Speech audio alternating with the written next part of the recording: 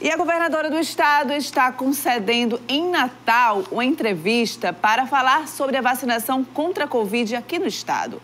A Secretaria Estadual de Saúde planeja começar a vacina em fevereiro do próximo ano, olha só. Enquanto isso, será preciso continuar mantendo as medidas de prevenção que você já sabe.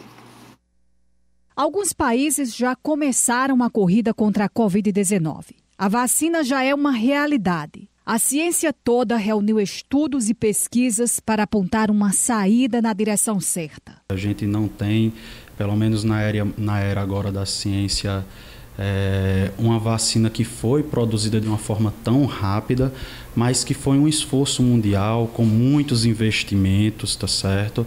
Muita gente correndo atrás disso. Então acabou que foi uma vacina que foi produzida em pouco tempo, mas que os estudos mostram que ela é segura Sim. Em meio a todo esse cenário, o Estado vai aderir à campanha de imunização contra a Covid-19, em que o Ministério da Saúde se comprometeu de adquirir doses da vacina para suprir toda a população.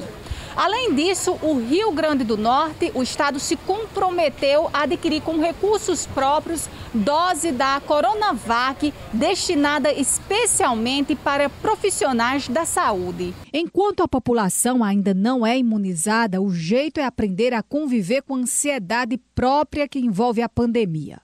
Para os médicos, isso é até natural. Ela só não pode paralisar o paciente. Se você sente sintomas mentais ou físicos referentes à ansiedade, tente respirar agora e seguir as dicas de quem sabe tudo sobre a doença e também sobre a cura. É um momento muito complicado para tratar a ansiedade, eu gostaria até de dizer, porque Muitas vezes a gente faz orientações que são gerais, que todas as pessoas sabem que ajudam na ansiedade. Voltar-se para a espiritualidade, que muitas pessoas é, perderam, como voltar para suas religiões, suas igrejas. Voltar ao convívio familiar, que nós estávamos muito isolados também.